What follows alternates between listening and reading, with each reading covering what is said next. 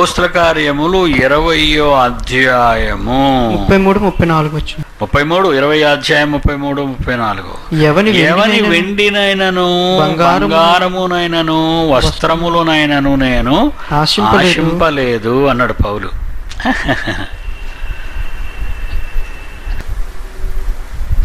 దేవుని పిల్లల కోసం ఎప్పుడు ఆలోచిస్తుంటానండి. అందుకంటున్నాడు ఎవని వెండినైనను బంగారమునైనా నేను ఆశింపలేదు. నాయన అక్కడ దుబాయ్లో గోల్డ్ బాగా దొరుకుతుందట నాకు మూడు చేలు తెచ్చి అని నేను అడగనండి. సామర్లకోట నుంచి ఒకటి వెళ్ళాడట దుబాయ్. వాళ్ళకు రెండు నెలలు ఉంచుకుంటారండి. ఈ రెండు నెలలు దండుకుంటాడండి. పాపం ఒక ఆవిడ ఒక ఉంగరం కొనుక్కొని వచ్చిందంటే అయ్యగారు మీకు ఉంగరం పెట్టుకోవాలి మీరు పెట్టుకోవాలని అంటే అలాగేనమ్మా ఇచ్చి అన్నాడు పెట్టుకున్నాడు. ఒక ఆవిడ ఉంగరం కొందని మిగతా వాళ్ళు కూడా ఉంగరాలు కొండ మొదలెట్టారండి. మనదంతా అదొక టైప్ కదండి లైన్లో ఉండడం టైప్ వీళ్ళు. వీడు ఒకరోజు ప్రసంగంలో నాకు ఇంకా రెండు వేళ్ళు ఖాళీగా ఉన్నాయన్నాడట అంటే ఇంకో రెండు ఉంగరాలు వాంటింగ్ అడిగి నాకు ఇంకా రెండు ఉంగరాలు వాంటింగ్ అన్నాడు. వాటి తర్వాత నేను ఎమిరేట్స్ వెళ్ళానండి. పిల్లిద్దరూ డాడీ మీరు కాదనకూడదన్నాడు. నువ్వు గిఫ్ట్ కింద ఏది ఇచ్చినా నేను కాదంటాను. నాకు అవసరం లేదన్న. నాకు ఏం అవసరం నాయన? మన తండ్రి ప్రపంచంలో ఉన్న వాళ్ళందరికంటే గొప్పవాడు. నాకు లేమంటూ ఏమీ లేదు. మరి ఎలా డాడీ కొనేసాం కొనేశారు. నన్ను అడగకుండా మీరు తప్పు చేశారు. కానీ మీరు మిమ్మల్ని కోరు కోరుకుంటాను. మీరు అంటే పెట్టుకుంటాను అన్నాను అయ్యేసరికి అలాగే డాడీ మీ ఇష్టం అన్నాడు. ఉంగరం పెట్టారండి. That's a first and last ring flight దిగ్గానే John అని ఒకడు ఉన్నాడు హైదరాబాద్లో అప్పుడు నమ్మిన బంటు నాకు. ఉంగరం ఫ్లైట్ దిగ్గానే వాడికి ఎక్కించానండి నిజంగా దేవుని సముఖంలో అబద్ధం ఆడకూడదు కదండి.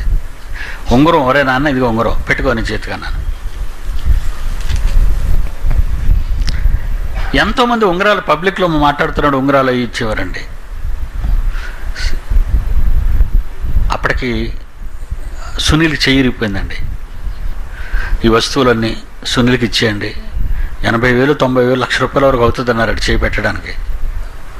ఇచ్చేమనేవాడినండి ఒక పిల్ల క్యాన్సర్తో బాధపడుతూ ఇంకెవరో కాదండి ప్రసన్నబాబు గారు వాళ్ళ మామగారు బావమరిది కూతురు ఇక్కడ హాస్పిటల్లో జాయిన్ చేశారండి. నా పిల్లల్ని అడిగాను ప్రాణాపాయంలో ఉంది మీరు ఏదైనా సహాయం చేయండి. వేల రూపాయలు నా పిల్లలు ఎత్తిచ్చారండి దేవుని పిల్లలారా నేను ఎందుకు ఈ విధాలు చెప్తున్నట్టు ఇప్పుడు చదవండి. ముప్పై మూడు. ఎవని వెండినైనను బంగారమునైనను వస్త్రములనైనను నేను ఆశింపలేదు. పౌలు అంటున్నాడు కింద నా అవసరత నిమిత్తము నాతో ఉన్నవారి నిమిత్తము. మళ్ళీ అందరినీ వెంటబెట్టుకొని సేవకి వెళ్ళేవాడండి. ఒక బర్ణబాబు ఉండేవాడు ఒక లోకా ఉండేవాడు. ఏనైనా మరి అందరూ ఒక సేల్ ఉండేవాడు. ఒక తిమోతి ఉండేవాడు ఒక తీతు ఉండేవాడు. వీళ్ళందరినీ సేవకు తీసుకెళ్ళేవాడండి. ఏం చేశాడట? పద మనందరూ ఇళ్ళ ఇంటి మీద పడిపోయి తినేద్దాం సాయంకాలం అయ్యేసరికి అనలేదట ఆయన. ముప్పై నాలుగో వచ్చలో నా అవసరముల నిమిత్తము నాతో ఉన్నవారి నిమిత్తము. నిమిత్తము ఈ నా చేతులు కష్టపడినవని మీకే తెలియను. ఈ నా చేతులు కష్టపడినవని అంటే పౌలు కష్టపడాలంటే దేవుడు ఎంత గొప్ప సేవకుడు కష్టపడ్డవా అందుకే కింద ఏమన్నాడు? ముప్పై ముప్పై ఐదులో ఒక మధ్యలో ఒక రెఫరెన్స్ రాశాడు ఆయన. పుచ్చుకొనుట కంటే ఇచ్చుట ధన్యం ధన్యము అని ప్రభు అయిన యేసు చెప్పిన మాటలు జ్ఞాపకము చేసుకొనవలనని అన్ని విషయములలో మీకు మాదిరి చూపితనని చెప్పితనే.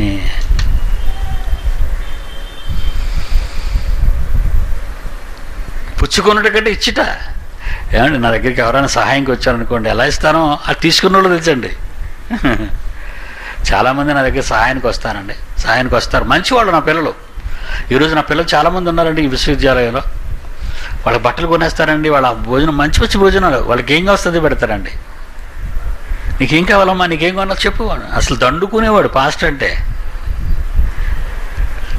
నేను నా డబ్బు ఖర్చు పెట్టాలనుకుంటానండి పిల్లలకి. ఎందుకంటే నా పిల్లలు కదా నేను ఇవ్వాలి తండ్రి పిల్లలకి ఇవ్వాలి కదా. ఆస్తులు తల్లిదండ్రులు పిల్లలకి ఇవ్వాలి కానీ పిల్లలు త్రాగేసుకునేవాడు ఆ రామోజీ అయిపోతాడు.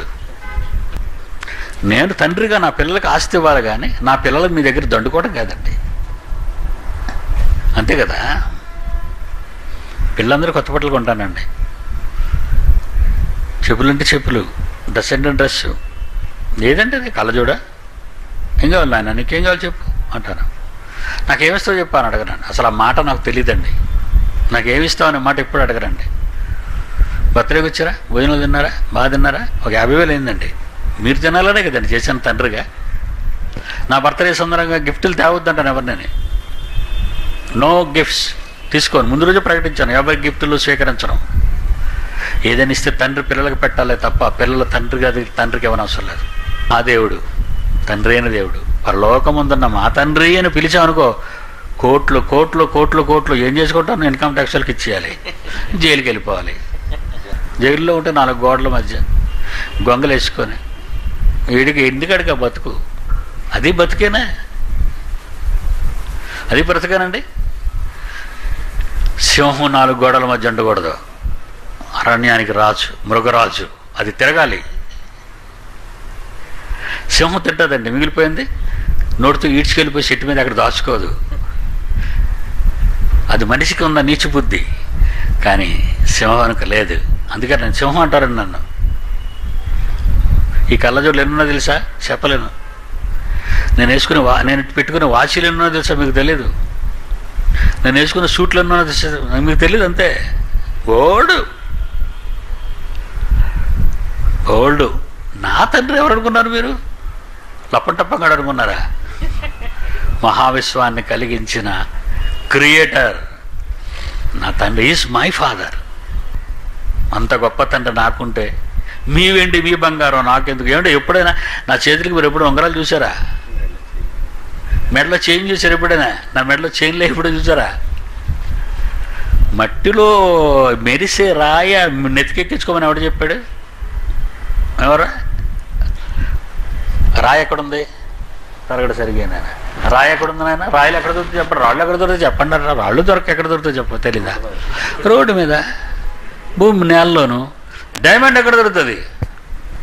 అది బొగ్గులోను మట్టిలోను రత్నరాశులు అవి మట్టిలోను మట్లో దొరికినంటే బుర్ర మీద పెట్టుకొని మోస్తావా మెడలు వేసుకొని? నువ్వెంత గొప్పవాడువి? ఏదో డైమండ్ గురించి నువ్వెందుకయ్యా బాబు? డైమండ్ నీ జోబీలు ఉంటే ఎవడో నువ్వు పీక పిసికేస్తాడు. అది దగ్గరెట్టుకున్నావంటే నీకే ప్రమాదం. పామును పక్కలేసి పడుకున్నట్టే. అయినా మట్టి వాటికి ఆశపడ్డం ఎంతవరకు రైటర్రా మట్టి వాటి కొరకు ఆశపడ్డాం. నేను అదే అంటాను. ఎప్పుడు నా చైన్లు కానీ రంగులు కానీ అస్సలు ఒంటి మీద ఉండడం నాకు ఇష్టం లేదండి.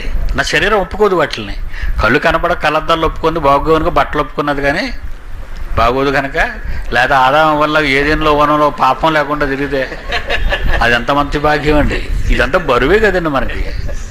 మీకు ఎంతో నేను అప్పుడప్పుడు ఆలోచిస్తానండి. ఒక బట్ట ఎవరో బట్ట కొన్నామంటే బట్టకు మళ్ళీ గుండీలు ఉండాలా చేతులు ఉండాలా ఏది వేసుకోవాలా ఏ? గాలి తగలదు శంకలంతా కంపు కొట్టేస్తుంది పది నిమిషాలు పోయిన తర్వాత అప్పుడప్పుడు శంక ఎత్తితే వాసన వస్తుంటుంది. మళ్ళీ గొడ్డలు ఇప్పుకోవాలా దాన్ని ఉతుక్కోవాలా ఆరబెట్టుకోవాలా మళ్ళీ ఇస్త్రీ కట్టుకోవాలా ఏదైనా వనం లైఫ్ అండి. గొడ్డ లేదు గోచి లేదు బట్ట లేదు ఉతుకుడు లేదు సరఫ అవసరం లేదు. అంత మంచి జీవితాన్ని ఈరోజు మీరు ఎలా చేసుకున్నారండి? మనం ఎలా చేసేసుకున్నాం? ఎలా చేసుకున్నాం? మేడ నిండా ఏడు వారపు నగలట. ఏ? సంవత్సరం వారపు నగలేసుకుంటే నువ్వు కనబడవు. ఎంత చూడ పిచ్చోళ్ళ కనబడరండి వీళ్ళందరినీ మనం చూస్తుంటే? ఎన్ని ధరించుకుందరా నాయన తల్లి? ఎన్ని ధరించుకున్నాడరా నాయనడు? అనిపిస్తే ఒక ఉంగరాలు పెట్టుకుంటారండి. చేతులండి అన్నం ఎలా తింటాడో తెలియదు అక్కడికి వెళ్తే ఎలా కడుక్కుంటాడో తెలియదు గోళ్ళులోకి వెళ్ళిపోద్ది కంపు. అలాడితే మనం గోళ్ళు తీసేసుకుంటాం మొదల వరకు. ఏమంటే గోడల్లో మురికి ఉంటుందంటే ఎక్కడి నుంచి వస్తుంది మురికి? అలా చూస్తుంటే సో గంగిరెద్దుని దీప ఏడుది సంక్రాంతికి తీసుకొచ్చి బోరవుతుంటాడు రకరకాల సింగు బట్టలని దాని మీద పరిచి పెద్ద బోర పట్టుకొని కిక్కి కిక్కి అనగానే ఆ శబ్దానికే మనకు ఒళ్ళు జరదరించేస్తుంది గంగ గంగిరెద్దుని చూసినప్పుడు అలా ఆటం గంగిరెద్దులా కనబడతాడు కొంతమంది ఆడవాళ్ళు మగాళ్ళ. ఆ మేకప్ ఏంటి? ఆ పేస్ట్ ఏంటి? ఎవరు వెండినైనను ఎవరు బంగారమునైనా ఆశించలేదు. నా కోసం నాతో ఉన్నవారి కోసం ఈ చేతులు పుచ్చుకోవద్దు ఇవ్వటం. ప్రభు తన ప్రాణాన్ని ఇచ్చాడండి. అన్నిటికంటే విలువైంది ప్రాణాన్ని ఇచ్చాడండి. దేవుని కొరకు ప్రాణాన్ని ఇవ్వవలసిన నువ్వు. నీ బట్టలు ఇవ్వలేవా? నేనా చలి నేను నేను దిగంబరం ఏంటి నాకు బట్టలు ఇచ్చితో అని అడుగుతున్నాడు. నువ్వేమో నాకు ఇప్పుడు బట్టలు ఇస్తావు నువ్వు అడుగుతున్నావు ప్రార్థనలోను. నన్ను చూడవచ్చితావా అని దేవుడు అడుగుతున్నాడు నిన్ను. నువ్వెప్పుడు జైల్లో ఉన్నావు? నువ్వు అడుగుతున్నావు. వాక్యం బంధించబడిందట ఈ మహాజ్ఞానం బంధించబడింది వ్యవస్థలో. ఇది బయటకు తీసుకురావాలి. క్రైస్తవుడు అవ్వాలంటే ప్రపంచాన్ని ద్వేషించాలి. క్రైస్తవుడు అయ్యాడంటే లోప కోరికలన్నీ అన్నింటినీ తొక్కుకుంటూ పైకి రావాలి. దేవుని కుమారుడు కదా నువ్వు? దేనికోసం భయపడతావు? దేవుని కుమారుడు నువ్వు. నీకేం కావాలి? ఏం కావాలి? పరలోకం కావాలి. అది మానవ లోకం కంటే అందమైన లోకం. ఇది అనుభవించేది అరవై ఏళ్ళు అక్కడ అనుభవించేది అనంతం. ఈ అరవై ఏళ్ళ దౌర్భాగ్యపు ఈ సగ్గు సుఖ సంతోషాల కోసం రాబోయే మహాలోకాన్ని నీ తండ్రిని పోగొట్టుకోవడం ఎంత దౌర్భాగ్యం! ఇదేనండి నా పిల్లలకు నేర్పిస్తున్న వాక్యం. God bless you my children.